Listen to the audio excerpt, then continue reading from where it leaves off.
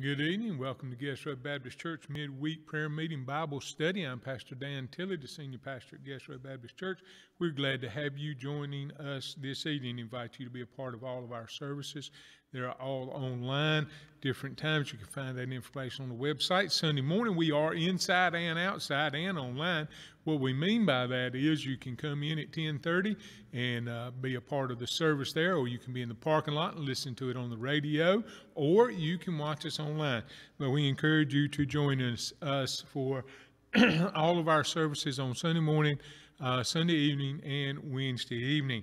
Uh, the 28th, that morning, we will have a special service, cantata, uh, put on by part of our choir. Uh, so we encourage you to come be a part of that and uh, uh, be, participate in that because it will be a wonderful time of celebrating Easter and also a time of uh, celebrating the Lord's Supper. So I invite you to be a part of that. Let's go to the Lord in prayer as we begin this evening. Father, thank you for this time, this day, this blessed time of being with you and with one another, dear Father. We know we cannot always be together, but Father, we know that you are in our midst no matter what. And so as we gather, we know we're gathering in the name of Jesus. We pray your blessing upon this time. And Father, we ask this for your glory. And in the name of Jesus, we do pray. Amen. Each week we put out a prayer sheet, and that prayer sheet is received by email. Um, you're welcome to sign up for that. Uh, you can make additions or ask for a copy of it by going to our uh, website and uh, uh connecting to the proper link there, and uh, that information will be shared. You can also share uh, a prayer request publicly or privately there. We don't read the prayer list on Sunday mo- on Wednesday mo- Wednesday nights online because some of the people that names are there uh, do not wish for their personal information to be shared publicly there. So we do not share all the names, but we do encourage you to pray for revival and for uh, the church and for believers, for lost souls, for missionaries, for um, our churches and their staff. We pray, uh, encourage you to pray for our nation, and we pray, uh, pray, pray for our elected officials and public servants and such as that. Uh, also, our school children in uh, our schools in the pandemic and those who are rest home, nursing home, assisted living, our doctors and nurses, those part of the pandemic, and all of those uh, uh, situations and circumstances that are arising and falling within humanity as a whole. We encourage you to pray for all of them. And of course, we certainly want to pray, I uh, encourage you to pray with a thankful heart unto God. Uh, Paul teaches us to pray with thanksgiving and to pray uh, with a time of praise. Um, there. Uh, Psalms 95, verse 2 says, Let us come before his presence. That is a call to worship. And then it goes on to say, Let us come before his presence with thanksgiving. And that is an expression of gratitude. God blesses us beyond measure. And so we certainly want to be thankful to him in all that he does and gives to us. Um, I encourage you to uh, not only encourage you to have that thanksgiving this time of your prayer, but to praise God, to just give Him adoration and adulation for who He is and all that He does for us there. With that said, uh, again, if you'd like to make a prayer request, you can do that online or you can call our church office there, and, uh, and we'll be glad to do that. With all that information said, let's go to the Lord in prayer at this time uh, for our evening prayer. Uh, our gracious Father in heaven, we acknowledge that you are the only true God and that you are our God, dear Father, and that you provide for us through your power and grace. We acknowledge, dear God, our need for you, and we acknowledge, dear God, that we are able to love you because you first loved us. We are thankful for your blessings in our lives, for your gift of your Son, Jesus, Christ, the gift of your Holy Word, the gift of your Holy Spirit, the gift of prayer itself, and so many other blessings and promises that are ours by your hand. We are thankful, dear Father. Father, we do want to pray that you will be lifted up, that your name will be lifted up, that the name of Jesus will be lifted up to all men. For Father, when Jesus is lifted up, he can draw all men unto him. And revival will come and an awakening will come, dear Father, and lost souls will be saved. Each of us knows people who are lost, dear Father. May we be quickened in our heart by your Spirit to pray for them and pray that your Holy Spirit will convict them of sin, judgment, and righteousness, and that we will share your love with them in the gift of your Son, Jesus Christ, to die in their stead. We pray for believers, dear Father, that we would grow in our Christ likeness. Father, we pray for the church as a whole to fulfill your great command, the great commission. We pray for our missionaries as they are sharing the gospel in different locations. We pray, dear God, for our nation, our elected officials, our public servants, our, our people who are uh, striving and caring for our nation, our military, and such as that, dear Father. We pray for the pandemic and those that are sick and issues there. We do lift up those in nursing homes, assisted living, people who are homebound. We pray, dear God, for everyone who has a need in their life and ask you to bless them. Father, for those that have joined us by uh, viewing this uh, time tonight, we pray your blessings be upon each one of them. Pray you will encourage them and strengthen them, and that we will all depend upon you and trust in you, dear Father. Father, as we go into our Bible study this evening, we pray you will give us an understanding and a wisdom of it, and it will help us to have a better understanding of who Jesus is. And it's in his name we do pray. Amen. This evening, we're going to continue on in our study of the Gospel of John uh, here, and we'll be coming to the third part of John's prologue, which is chapter 1, verses 9 through 13, and that section is entitled Coming of the Light. Now, we have seen in the first five verses here uh, some extraordinary, uh, or chapter 1, verses 1 through 5 here, the first part of John's prologue. We have seen some extraordinary theological truths that John sets forth concerning Jesus. And then in verses 6 through 8 of chapter 1, there, the second part of John's prologue, we have seen that John the Baptist is a witness unto Jesus. Um, now, we have noticed that in all of these uh, truths here that are being set forth by John in his prologue here, those five theological truths and the truth of John uh, the Baptist being a witness in him, all point to Jesus as the Savior. Because if we remember John's gospel's point, the purpose of his gospel writing is uh, to point to people to salvation, to be an evangelistic effort. And so we're pointing to Jesus as the Savior is a fundamental thing.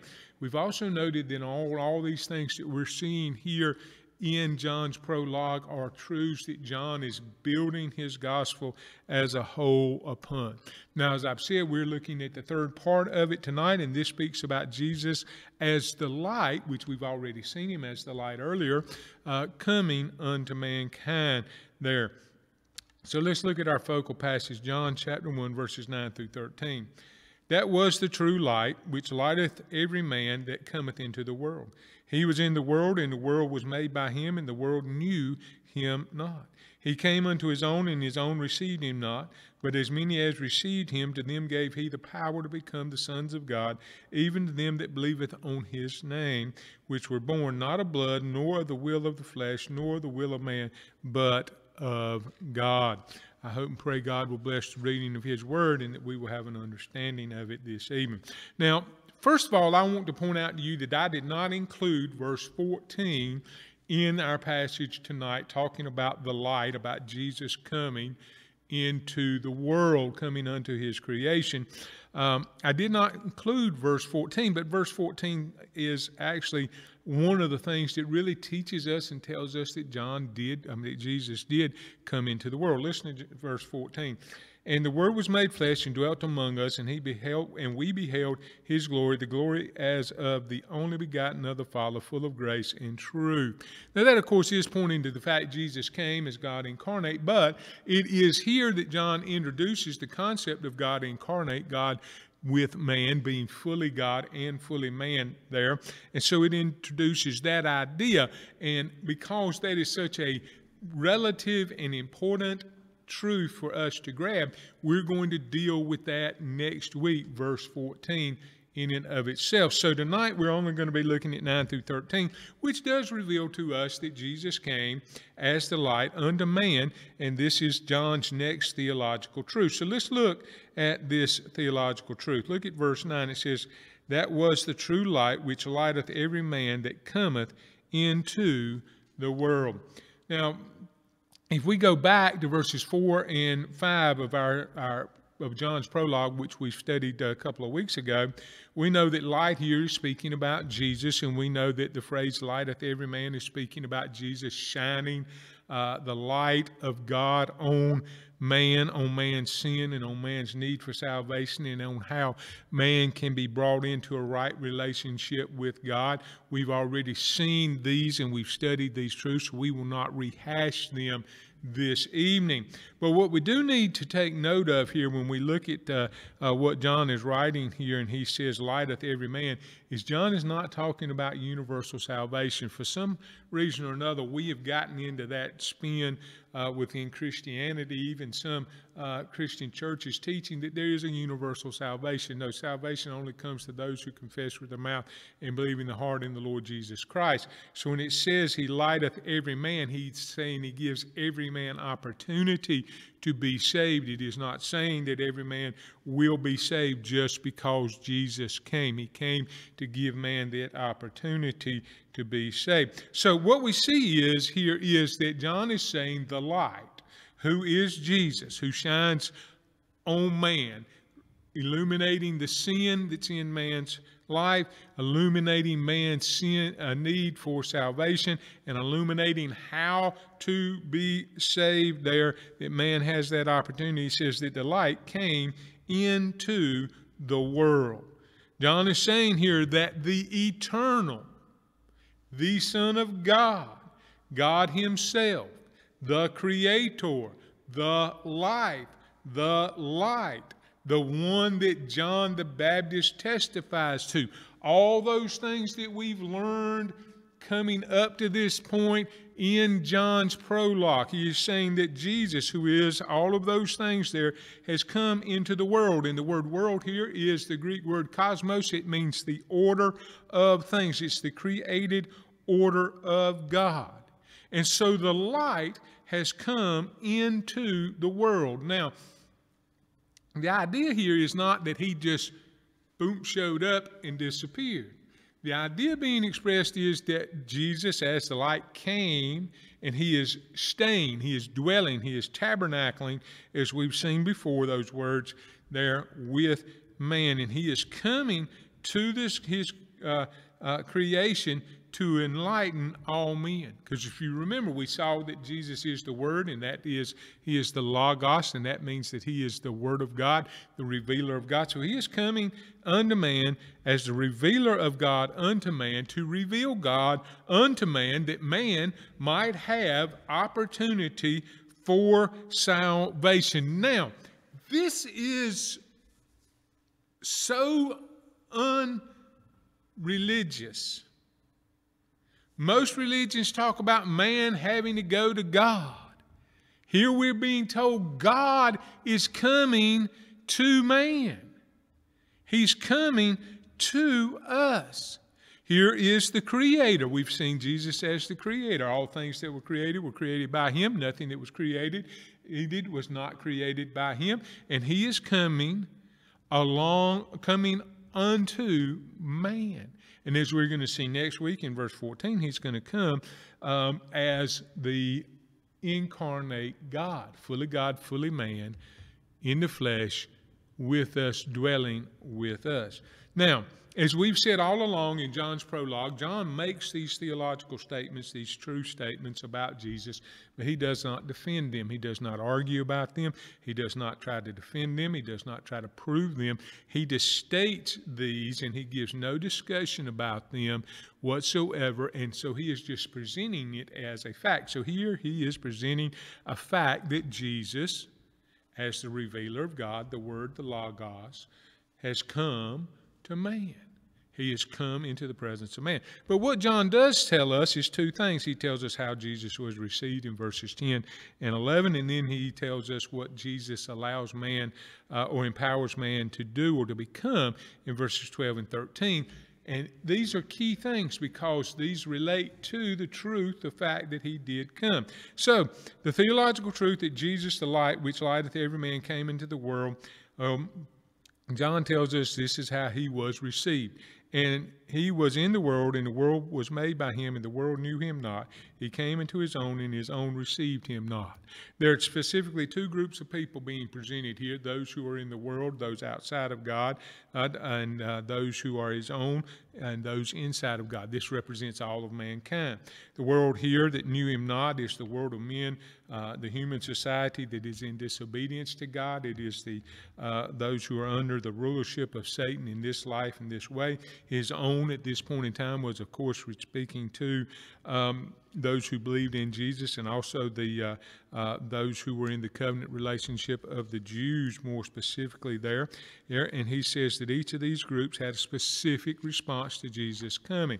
First of all, this world, those who were not in relationship with God, knew him not. The second group, his own, those that should have known him, received him not. The world failed to recognize their creator.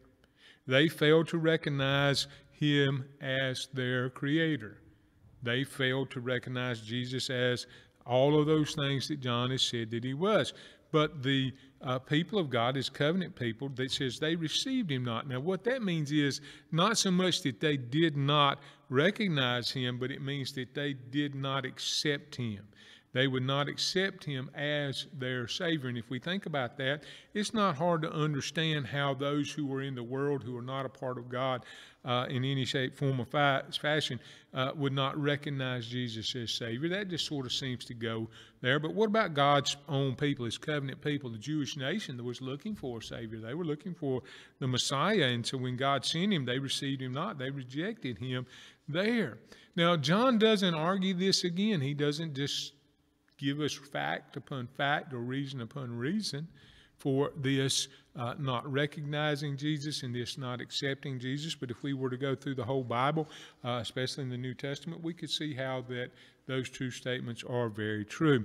Now, the second thing John gives us about this theological truth of Jesus coming uh, into his own creation, into this world, uh, is, is what he allowed man to become if man would accept him. It says, But as many as received him, and that could be translated as accepted him, to them gave him the power to become the sons of God, even to them that believe on his name, which were born not of blood, nor of the will of the flesh, nor of the will of man, but of God. Now, notice something. But as many as received him, here again, we're talking about belief in Jesus. We're talking about not accepting Jesus as the revealer of God, accepting Jesus as the Savior of mankind there. Those uh, who accepted Him. So, what we're seeing here is just as there's not universal salvation we talked about earlier, there's not universal rejection of Jesus, even though the world did not uh, recognize him in his own, his covenant people did not uh, accept him there. It is not universal rejection of Jesus. Some actually received him, some actually accepted him, some believed in him and confessed him as their Savior there. And when they accepted him, he allowed them or gave them the power to become the sons of God. This is talking about he gave them the power to be regenerated, to be reborn. This is the idea of the power to be brought back into and restored into a right relationship with God. Some speak about this as being brought into the family of God, becoming the children of God here. And they bring that idea in because it is this idea of birth. It is this idea of rebirth. It says, which were born not of blood, nor the will of flesh, nor the will of man. So Jesus came, and those that believed in him, he not only offered salvation to them, but he empowered them to be saved. He empowered them to be saved. So John is making this step from Jesus is the Savior to Jesus actually saved those who believed in him. And this is an important step in the building of John's gospel. Now, it is in this restored relationship that has been brought about by Jesus here that we need to understand that John says that this birth, this rebirth, doesn't take place because of a person's blood. That's referring to the blood uh, line or part of who they are. This is harking back to the Old Testament where the Jews were God's chosen people, and if you were not a Jew, you could not come into a relationship with God. John says that's not true. He goes on and says that this birth, this rebirth, uh, doesn't take place because of natural law, the will of the flesh. The natural law of, of the flesh is that when couples have union and they um, uh, produce a child, that's just natural law. It didn't come out of a natural law uh, for man to be saved. And then he goes on and says it didn't even come out of a human desire. It is not man's desire to be saved. It says of the will of man. But what John does say is that this birth, this rebirth, took place because of the will of God. Now, here's a brand new concept for those who are uh, experiencing Jesus. And that brand new concept is hey, God wants me to be saved. This has never before been seen or understood that God is pursuing and wanting. God came, so He pursued, and God's wanting. This isn't because of who we are, our bloodline. This isn't because of natural law. This isn't because it's our will. It is the will of God that man will be saved. And so here is, is, is an, a, a, great new expanse of understanding and theology being set forth by John to his readers here that has never been seen and never been understood before. And today we see these truths and we think about, well, yeah, we knew that. But do we see the power of it? Do we understand that, hey, here's God coming to us? Here's God coming to the world and the world not receiving him. Here's God coming to his own people and they reject him. Here's God coming. Why? Because he desires us to be saved. And here is God bringing about that salvation. He's not just saying this in theory that, that, that, hey, yeah, you can be saved. John is stating, yeah, those who believed were saved, a concrete understanding. And it's all because it is his will for us.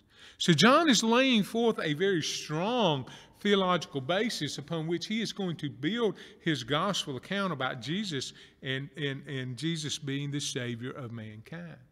Now, to help us fully grasp what, what this significance of this is, that God came to earth to save men, let's just understand that this theological truth sets up the incarnation of God. Verse 14. If he didn't come, it couldn't be God incarnate. If he wasn't the Son of God, it couldn't be God incarnate. If he wasn't fully man, it couldn't be God incarnate. So that's setting up the incarnation of Christ. This same theological truth that Jesus, as the light, came and he came for the redemption of man, is setting up the cross. Because if he didn't come, he couldn't die on the cross. And if he couldn't die on the cross, then salvation couldn't be by grace. And so it's setting up that, that theological truth of the cross. This theological truth that Jesus came as the Logos, the revealer of God, and he came to man to redeem man, it sets up salvation by belief. If he didn't come as both God and man, if he didn't come and he go to the cross, how could we believe in him? It's setting that up. This same theological truth, Jesus light came, is not only setting up all of that, but it's setting up the very understanding that all men can be saved. Because up to this point, nobody could be saved other than God's chosen people, those there. But here's Jesus, and he opens it up to the Jews and the Gentiles. And all of that is being set up and built upon the simple truth, yet the powerful truth, that Jesus, as the light, the revealer of God, came to his creation, to man, even though man rejected him, even though man would not receive him, the world and his own, he came with one purpose. And those who did receive him, did accept him, he enabled them, he empowered them to become the sons of God. And that was his will, to God's will for mankind. So again, we see John is building this great theological framework and this great theological standing, uh, stepping stone to stand upon for the truth of the gospel that he's building. And as we look at these theological truths here, the ones we have already seen, the one we've seen tonight, and those that we'll see as we finish up uh, uh, John's prologue here, we need to not miss them. We need to get them and grasp them and understand them because it is on these truths that everything else that John is about to present here for the salvation of the lost and for our understanding of Christ is built upon.